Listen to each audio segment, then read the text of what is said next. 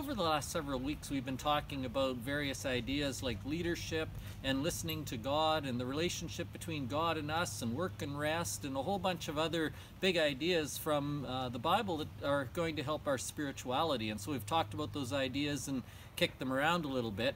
Starting tomorrow, we're going to look at them in action in one of my favorite stories in the entire Bible. We're going to look at Nehemiah.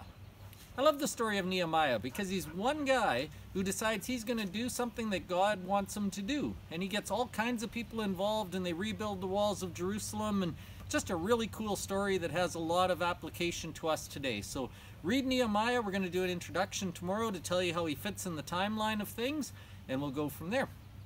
Then in our sermon, we are going to go to the book of Revelation, believe it or not, and we're not going to look at the first couple of chapters, which we normally do, or the last couple, which we normally do. In fact, we're going to look at the fourth and fifth chapters tomorrow. Um, all I'm going to tell you is that we're going to look at the throne room of God, and the sermon's called The Lion and the Lamb. You need to know about the lion and the lamb so you can tell other people about it. It's a really important lesson that we all need to have.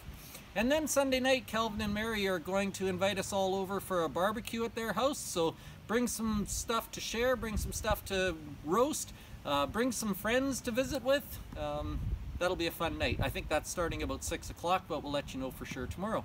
So there you go. That's what's happening.